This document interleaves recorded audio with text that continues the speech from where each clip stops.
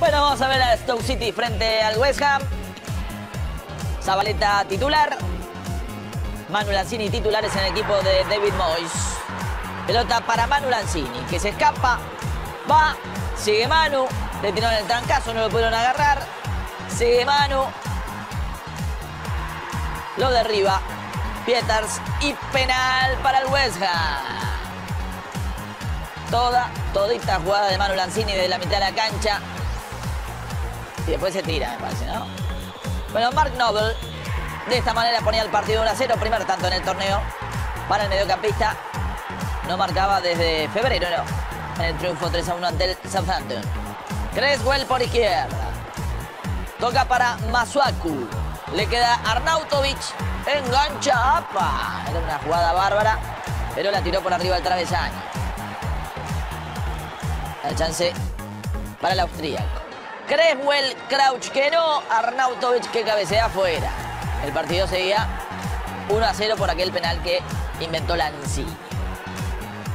Manu Lanzini justamente, Arnautovic engancha, remata de zurda, pelota al travesaño, se volvió a salvar el arco del Stoke City, pero finalmente va a llegar el 2 a 0. Arnautovic la pide Manu Lanzini, gran devolución para Arnautovic, control y definición del delantero. Y el partido ahora estaba 2 a 0. Fantástica jugada con Manu Lanzini. Así, aplaudido, se retiraba el delantero austríaco. Con el partido 2 a 0.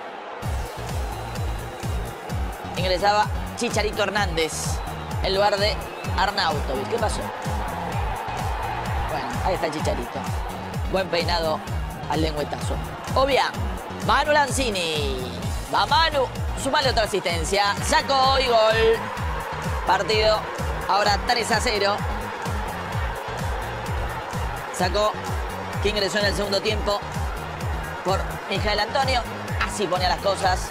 3 a 0, gran victoria del West que marcha décimo quinto, décimo séptimo en el momento, el Stoke City. Vamos a las posiciones de la Premier. Manchester City está ganando el Manchester City 1 a 0 al Tottenham. Sí, señor. Sí, señor, está ganando y estirando la ventaja respecto del Manchester United, que en este momento es de 11.